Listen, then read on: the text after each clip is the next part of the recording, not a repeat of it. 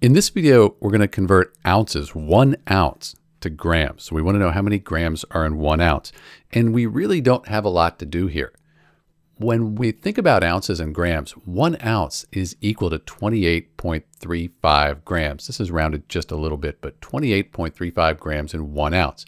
So if you're going from ounces to grams, any number of ounces, one, two, one eighth of an ounce, to grams, you're going to multiply by 28.35. So we have one ounce here.